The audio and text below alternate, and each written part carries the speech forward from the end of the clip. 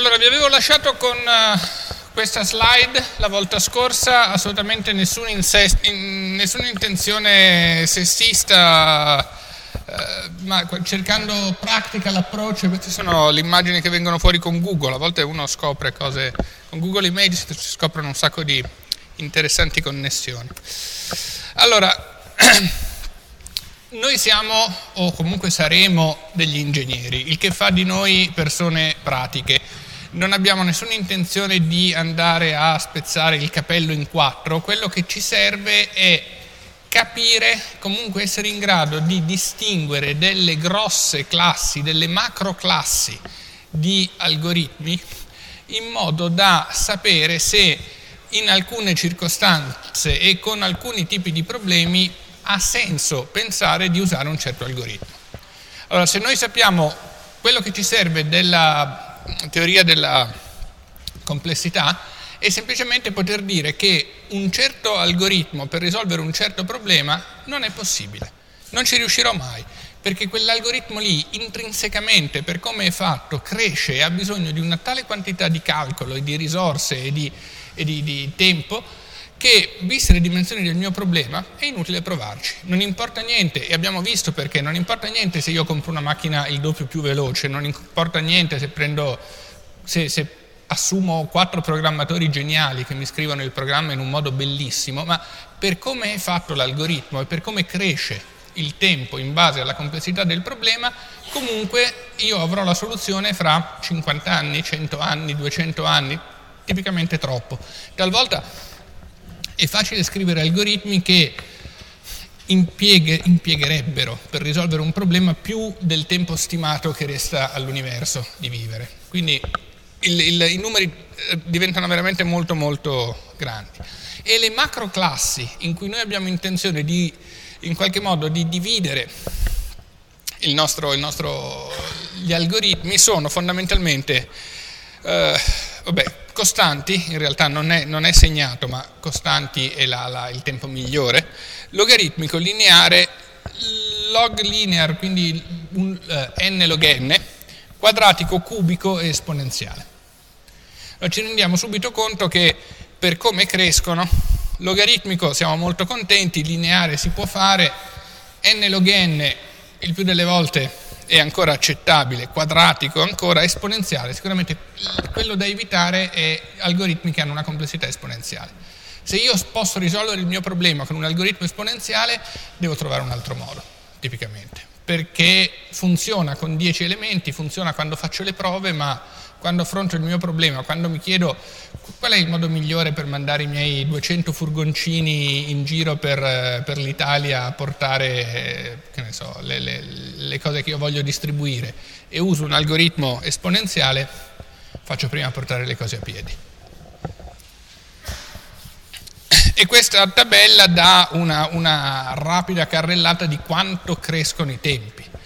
Eh, se io sto usando un algoritmo esponenziale e il mio problema ha 10 alla terza eh, elementi, vedete che il numero di, eh, di secondi che mi, che mi servono non, non, c'è neanche un nome. Voglio dire, se fossero 10 alla 2 potrei dire che sono 10 alla 17 anni, ma se no sono 10 alla 301 non, non, abbiamo un numero, non abbiamo un nome per esprimere una, una eh, grandezza di tempo così, così, grande.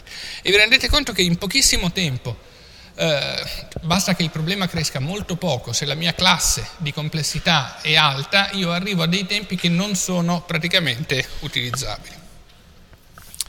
Eh, domanda, per vedere se fino a qui mi avete seguito.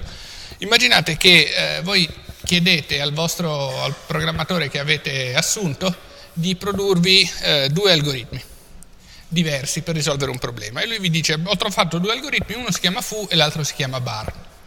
L'algoritmo foo ha una complessità quadratica, l'algoritmo bar ha una complessità 2 alla n. Ho fatto delle prove, quando ci sono 100 elementi foo risolve il problema in 10 secondi, e bar in 4, quando ci sono 1000 elementi, fu ce ne mette 12 e bar 4,5. È possibile?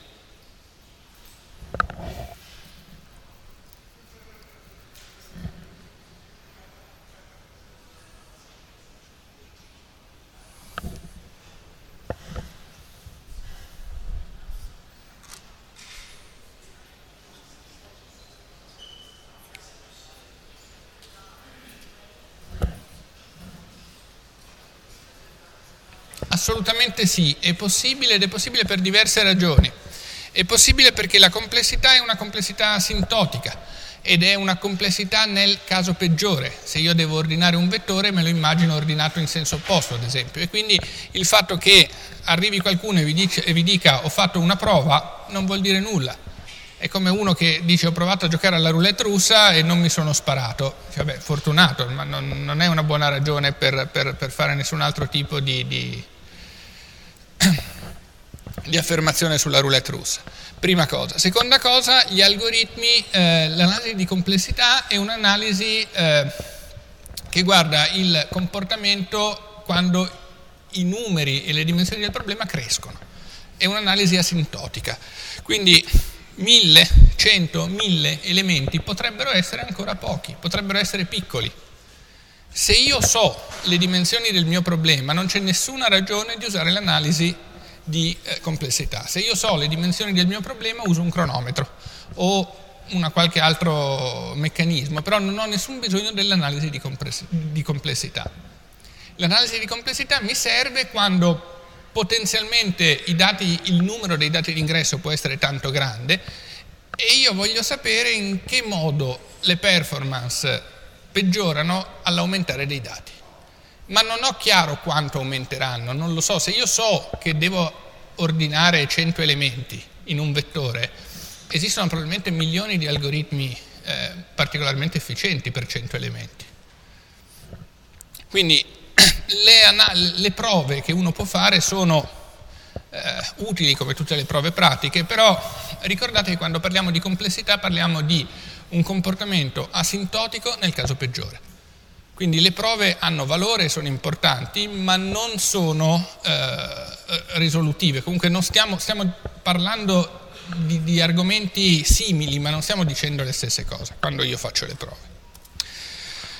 Allora, il modo per calcolare la complessità di un algoritmo, semplicemente guardandolo, è, eh, è, è molto semplice. Ci sono cinque semplici regole che ci permettono a occhio di guardare, di capire come, quanto è complesso un algoritmo.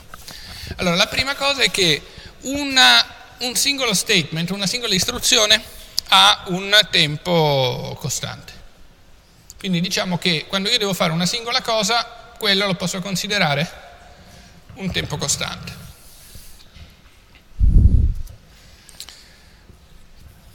Non me ne importa niente della differenza di tempo fra delle, delle differenze di tempo fra statement, assolutamente, le posso tralasciare completamente. Quando ho un condizionale, beh, scelgo sempre il caso peggiore, mi chiedo sempre cosa succede nel caso peggiore, dove il caso peggiore per me è quello che mi porta a fare eh, più calcoli, chiaramente. E eh, quando io ho una sequenza di passi la complessità è il più grande. Quindi O grande di n più O grande di n non è 2 O grande di n, perché le costanti non ci importano. O grande di n più O grande di n è O grande di n. O grande di n più O grande di n quadro è O grande di n quadro.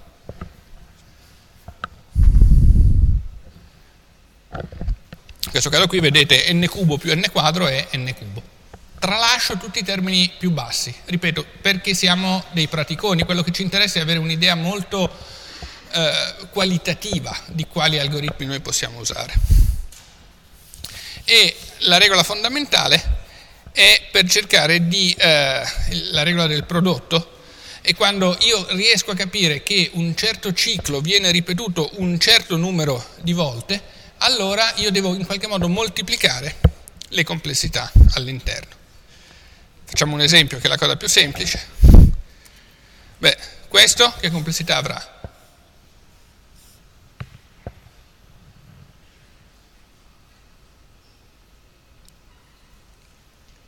Vado avanti da solo. Ok, allora questo ha complessità o grande di 1 perché posso considerarlo uno statement e un'operazione singola.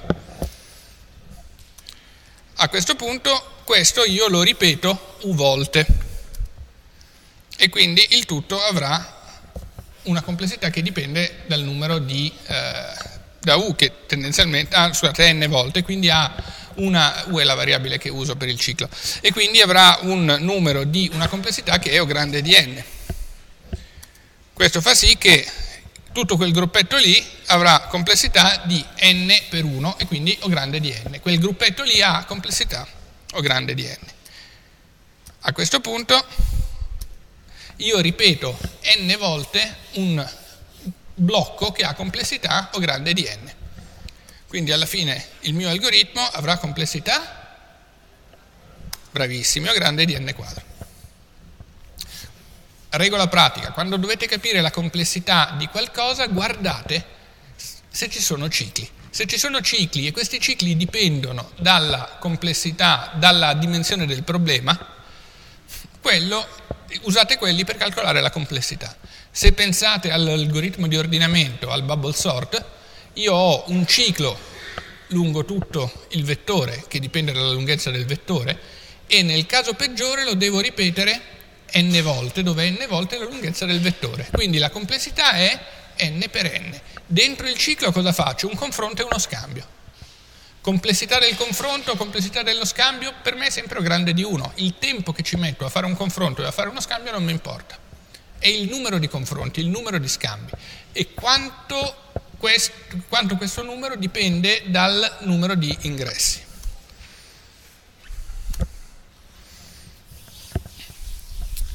Vabbè, qui possiamo fare le cose un po' più eh, carine, però vedete che il doppio ciclo alla fine, in qualche modo, anche se il ciclo interno eh, può essere più corto, alla fine la complessità è sempre O grande di n quadro. Se li mettiamo di seguito, beh, due blocchi di seguito, la complessità è la complessità del maggiore. Perché non sto parlando di tempo, ripeto, sto cercando di esprimere in un modo leggermente più formale come cresce, quanto cresce. Condizioni, beh, quando ho due condizioni scelgo il caso peggiore, quindi la parte interna che complessità avrà? Quale sarà la complessità di questo frammento di codice?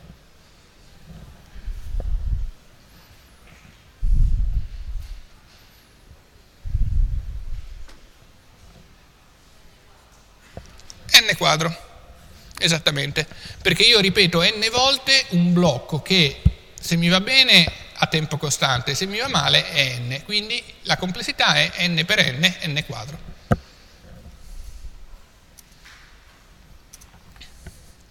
Quindi, guardate, cercate di capire quali sono i blocchi più pesanti.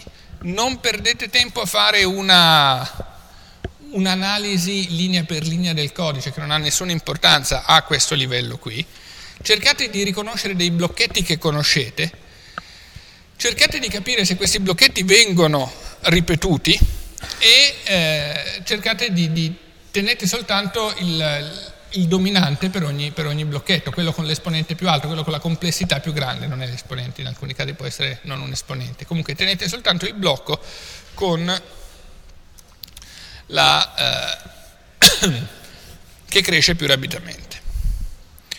Eh, ripeto, parlare di eh, velocità e di complessità, beh, i due fattori sono chiaramente legati perché, eh, non mi ricordo la slide che c'è dopo, Chiaramente quando io parlo di complessità cerco di capire come il tempo di esecuzione del mio algoritmo aumenta al variare dei dati d'ingresso, però eh, non sto parlando di tempi assoluti, molto spesso capita che algoritmi che hanno una complessità maggiore siano di fatto più veloci quando i dati d'ingresso sono pochi. Se voi pensate al disegno di una, di una parabola e di una retta, c'è un lungo pezzo in cui la parabola sta sotto la retta. Quindi se effettivamente il tempo, la legge del tempo usa il, la, la, segue esattamente una parabola, beh, una parabola per un certo tempo è comunque più veloce di una retta, ci mette meno tempo di una retta, la retta è più lenta. Poi quando il numero di ingressi, quando il numero de, degli input, quando le dimensioni del problema crescono, a quel punto lì certo la retta è sotto e, e, ed è quello che mi interessa. Ma con pochi dati la parabola è, più, è, più, è sotto la retta, non solo. L'analisi asintotica non tiene in alcun modo conto di quello che sono i tempi di inizializzazione.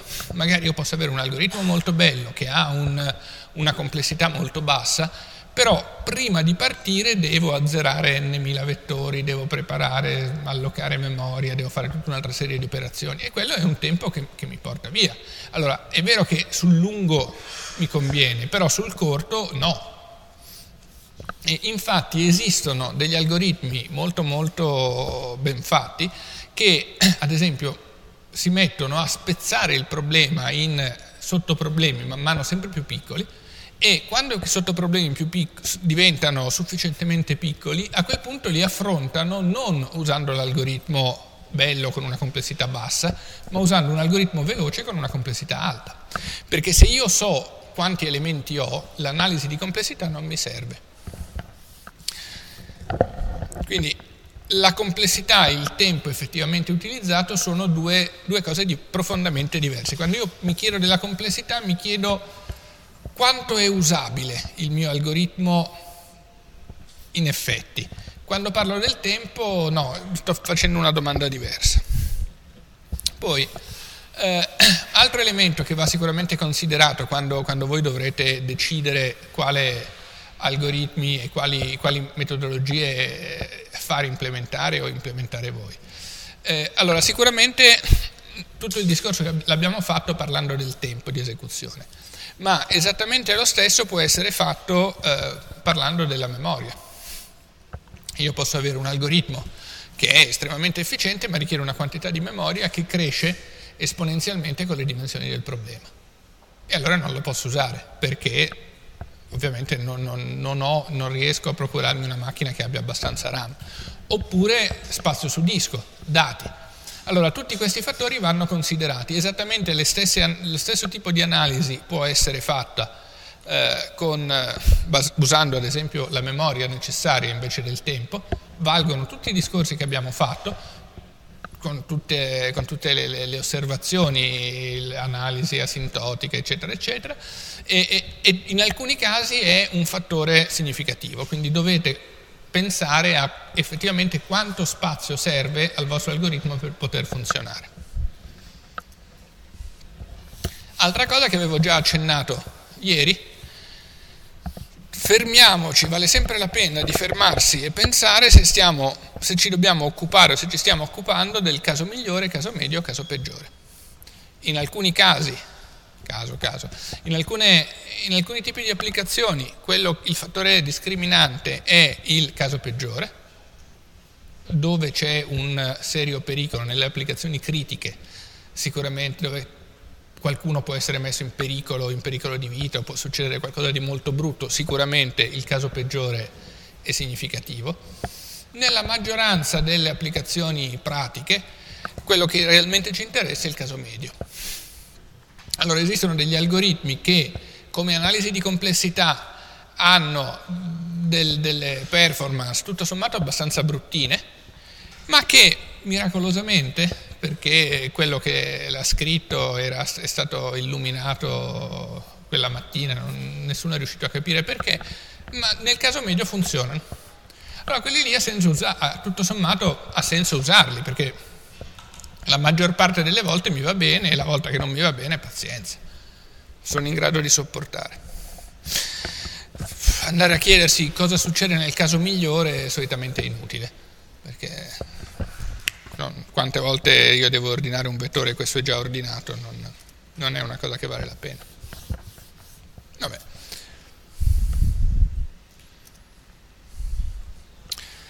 Uh, assolutamente Beh, il, il, il, pensare al caso peggiore, caso medio e caso migliore sicuramente è interessante quando noi invece di fare un'analisi asintotica, un'analisi analitica del nostro algoritmo, decidiamo di cercare di capire qualcosa di come funziona l'algoritmo eh, mettendo dentro il, provando, mettendoci dei dati. Allora, in quel caso lì probabilmente vale la pena di fare delle considerazioni su quello che è l'input del nostro algoritmo. Se pensate a quello che abbiamo visto ieri, eh, quando io ho, eh, cercavo di prendere i tempi nel togliere un elemento usando i vari tipi di liste di Java, non toglievo il primo, non toglievo l'ultimo, ma toglievo quello in mezzo. E questo tutto sommato non è completamente onesto, perché eh, probabilmente togliere l'ultimo e togliere il primo ci sono delle ottimizzazioni, togliere quello in mezzo è quello che maggiormente obbliga effettivamente l'algoritmo a portare su tutti i vari elementi uno dall'altro e quindi è quello che ha le, le, le performance peggiori. Quindi se dovete, delle, delle, se dovete cercare di capire la complessità usando del, del, facendo degli esperimenti, vale la pena di fermarsi a pensare a che cosa far simulare negli esperimenti. Allora, vediamo le classi di complessità che servono a, a, a noi, mi ci metto in mezzo volentieri anch'io. Allora, prima classe, ho grande di 1, costante. Wow, quello che realmente mi rende felice. Il, l'algoritmo non ha bisogno di sapere nulla del, dell'input, lo ignora completamente, talvolta non lo legge nemmeno. Quello è la classe di complessità che tutti noi preferiamo. Logaritmica. Beh, logaritmica io riesco in qualche modo a frazionare il, il problema in ogni, in ogni iterazione. Eh, ad esempio io ho tante, tante persone, voglio vedere fra queste persone eh, qual è il, il campione, stanno facendo un gioco, oppure che ne so, qual è la persona più alta, che cosa che sistema, ah no, che lineare, vabbè, eh, ci sono tutta una serie di problemi in cui io riesco a spezzare il problema in una serie di, in un modo particolarmente intelligente per cui mi porta ad avere un tempo logaritmico. Lineare, vabbè, semplicemente quando io nel mio algoritmo ho un ciclo lungo tutti gli elementi, la complessità è lineare. Cercare un elemento in una lista. Cercare un elemento in una lista è un tipico esempio di algoritmo lineare. Cercare una parola su un vocabolario è un algoritmo lineare?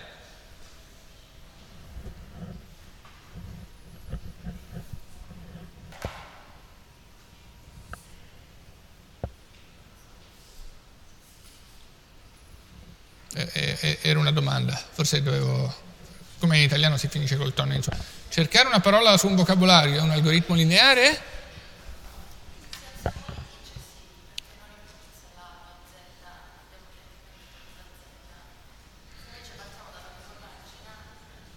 Allora, la vostra collega dice se usiamo l'indice, no, il che è, è, è, certo si può fare con un algoritmo lineare. Io apro il vocabolario, inizio lentamente a leggere tutte le, le, le parole e prima o poi arrivo alla, alla parola che mi, che mi serve. Eh, solitamente il vocabolario non ha un indice, ma io so che le parole sono ordinate in ordine alfabetico. Allora, quello che posso fare è aprire il vocabolario con una buona approssimazione più o meno dove mi aspetto di trovare la parola, almeno quello che faccio io, non so se poi lo fate anche voi, e poi vedo se mi sono sbagliato vado un po' più su, un po' più giù, e a quel punto quando ho due estremi, da lì in avanti vado a prendere il punto in mezzo all'estremo. Per cui se io so che abaco è troppo avanti e acab è troppo in basso, aprirò una pagina in mezzo e vado a vedere se la parola che cerco sta di qua o di là, fin quando a un certo punto non trovo la parola giusta. Allora questo è un caso di ricerca dicotomica. Io taglio a metà il, lo spazio di ricerca e ogni volta mi muovo in una delle due metà. Questo è un caso di ricerca logaritmica, che può essere ottimizzata appunto non aprendo il, il, il, il dizionario esattamente a metà. Se io cerco zuzzurro e lo apro esattamente a metà, sono un fesso, però comunque funziona anche, anche se lo apro esattamente a metà, perché poi di metà in metà lentamente mi sposterò verso la z e lo trovo. Quindi a, a parte alcune ottimizzazioni iniziali che posso fare, il tipo di ricerca è un tipo di ricerca dicotomica e l'algoritmo ha una complessità logaritmica. Se il dizionario non fosse ordinato, l'unica cosa che potrei fare è scorrerlo tutto. E in quel caso la ricerca sarebbe lineare. Era una battuta di BC, il, il, il cavernicolo fa vedere suo, la sua nuova invenzione, il dizionario, al collega che dice sì, carino, però dovresti metterlo in ordine alfabetico. N log n.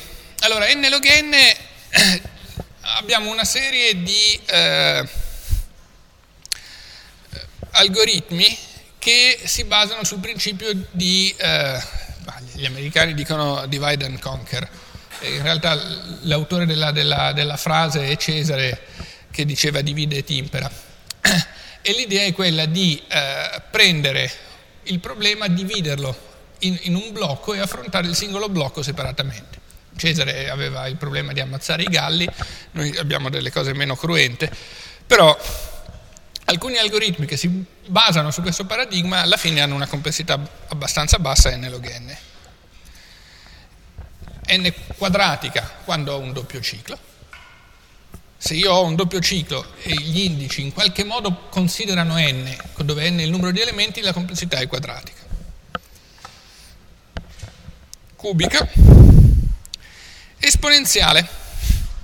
Se io devo generare tutti i sottoinsiemi di, un certo, di una certa del mio, del mio ingresso, la complessità alla fine è esponenziale e i problemi esponenziali sono veramente tantissimi e sono quelli che di fatto non sono, non sono, gestibili nei casi reali. Per cui quando uno ha un problema e ha un algoritmo esponenziale per cercare di risolverlo, l'unica cosa sensata da fare è rinunciare al trovare la soluzione ottima e provare con, con eh, qualche, si, si, chiamano euristiche, con qualche sistema più o meno approssimato che mi produce una soluzione accettabile. Non sarà quella ottima, però ho una soluzione. La soluzione ottima non ce l'ho perché ci metterei troppo. Ancora peggio sono i problemi fattoriali, che hanno bisogno di generare tutte le possibili permutazioni di eh, un certo insieme di elementi. Allora, se io mi trovo un problema di questo tipo, cambio algoritmo e rinuncio a, risolverlo. Allora, vabbè, questo in realtà ce lo siamo già detti. Ricerca lineare è O grande di n, ricerca dicotomica, dizionario è n log n. Vediamo, adesso torniamo alle, alle, alle collection. Cercate di dirmi, cerchiamo di vedere, mettiamo delle complessità qui, delle classi di complessità. Invece di mettere quello sluggish, fast, medium, yeah, eccetera, cerchiamo di mettere qualcosa di leggerissimamente più quantitativo. Allora, eh, aggiungere un elemento nell'array e nella linked list. Era verde, se ve lo ricordo. Che complessità avrà?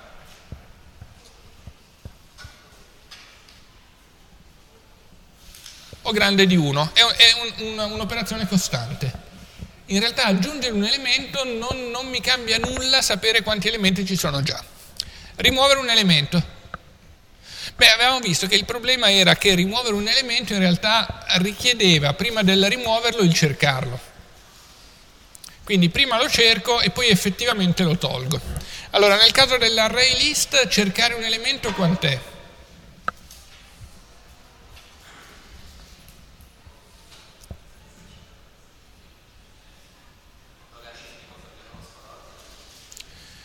Ma conosco l'ordine, ma gli elementi non sono ordinati. Sono, conosco l'ordine, il vostro collega ha detto eh, conosco l'ordine. In realtà con, c'è un ordine, ma l'ordine non dipende dalle chiavi. L'ordine dipende dall'ordine in cui li ho messi. E io non sto cercando qualcosa riferito all'ordine in cui li ho messi, ma sto cercando qualcosa riferito alla chiave. Quindi io posso mettere abaco, zuzzurro, mamma in questo ordine qui e il terzo è mamma, però eh, se cerco mamma l'unico modo che ho è scorrerli tutti. Quindi sia nell'array list sia soprattutto nella linked list per cercare un elemento l'operazione è O grande di n e per rimuoverlo nella array list è di nuovo O grande di n perché devo spostare tutti gli elementi indietro e nella linked list è O grande di 1. O grande di n più grande di n quanto fa? O grande di n più grande di n fa O grande di n, perché quando io sommo devo fare due operazioni, in realtà la complessità prendo la maggiore. Quindi la complessità è la stessa e, e quindi è O grande di n. E la linked list anche. O grande di n più grande di 1 è sempre O grande di n. Trovare un, in, un a questo punto mettiamoli dai, eh, trovare un, un, elemento a partire dall'indice è O grande di 1, perché io ho l'indice e vado direttamente su quello, mentre nel caso della linked list è O grande di n, perché abbiamo visto che è una catena di elementi sparsi nella memoria e quindi l'unico modo per arrivare all'elemento 1000 è andare dall'1 al 2, dal 2 al 3, dal 3 al 4, eccetera, eccetera. Set ha lo stesso problema, eh, ha la stessa, la stessa complessità del get fondamentalmente, soltanto che dopo esserci arrivato devo anche scriverci. Quindi nel caso della linked list sarà O grande di n più grande di 1. Add, beh, aggiungi un elemento. Se il mio vettore è rappresentato come un vettore, se la mia lista è rappresentata in un vettore, beh, per arrivare nel punto giusto ci metterò O grande di 1 perché è diretto, però poi devo spingere giù tutti gli altri elementi. Mentre nel caso della linked list, arrivare all'elemento mi costa tempo e poi però lo posso inserire perché è una catena, quindi eh, tolgo il, sciolgo i nodi e lo annodo e annodo il nuovo elemento. Rimuovere, vabbè, ho grande di n perché devo eh, tirare indietro tutti gli elementi, mentre è O grande di n per cercarlo e poi O grande di 1 molto veloce nella linked list, chiedermi se contiene un certo oggetto e O grande di n in tutti i casi, chiedermi qual è l'indice di un certo oggetto e O grande di n in tutti e due i casi. Allora, se non sbaglio, nella prossima slide ci mangiamo. No. Eh, o grande di n più grande di 1 vuol dire O grande di n, quindi tenete sempre il, il termine maggiormente importante, e vi rendete conto di, di, allora, numero uno, di quanto questa sia una conoscenza veramente ah, grezza, diciamo, e numero due, come è data per scontata perché vi avevo fatto vedere ieri che ad esempio la documentazione sulle linked list del, che, che dà nostro, la Java Collection Framework ci dice che le liste si comportano come complessità come uno si potrebbe aspettare che si comportino le liste. Perché questi dettagli qui sono, diciamo, l'ABC di chi vuole usare o di chi vuole costruire il proprio programma in, in modo leggermente più serio. Ma ripeto, non sono cose da memorizzare, perché quando uno capisce come funziona, non deve implementarlo, però capisce qual è lo schema con cui funzionano le cose, la complessità non può che essere quella. Perché i dettagli non mi importano, però io tutti gli, gli elementi devo visitarli e se li devo visitare tutti ho grande di n. Fine. Vabbè, questa non è del dottor House, in realtà è di Einstein questa frase. Però... Ok.